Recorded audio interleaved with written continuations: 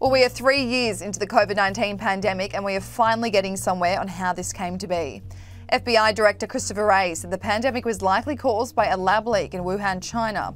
Now, this has always been a theory, but it was considered a conspiracy theory for a very long time, so much so that mainstream media refused to touch the story. Director Wray even concluding to Fox News that he believes the Chinese government is doing its best to try and thwart and obfuscate the work the United States and foreign partners are doing to get to the bottom of how this virus originated. This all comes after the fact the US Department of Energy on Sunday assessed that the virus likely did come from a lab leak in China. Now, this is a big win for people like former Secretary of State Mike Pompeo and former President Donald Trump, who have from the start wanted this theory to be taken seriously. Many people during 2020 did push back on the theory because it was Trump that was publicly supporting it.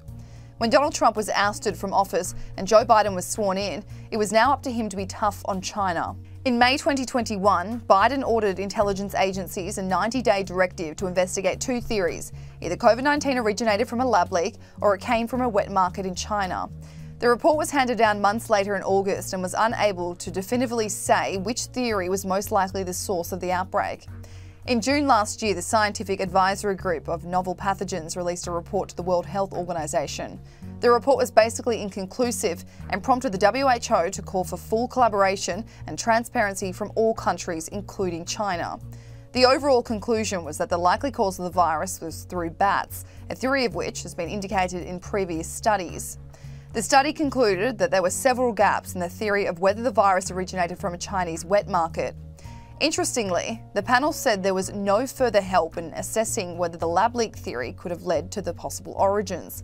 The SAGO report noted the SAGO notes that there has not been any new data made available to evaluate the laboratory as a pathway of SARS CoV 2 into the human population and recommends further investigations into this and other possible pathways.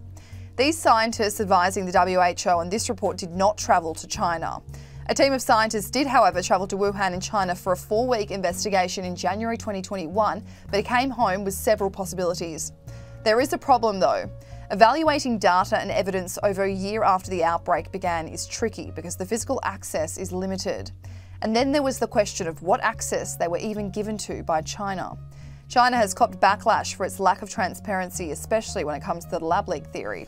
Not only did China push back on the United States proposing that there be an international investigation into the origins of COVID operated out of China, but there is also speculation that any evidence of the virus was covered up at the Wuhan Institute of Virology before scientists had access to it.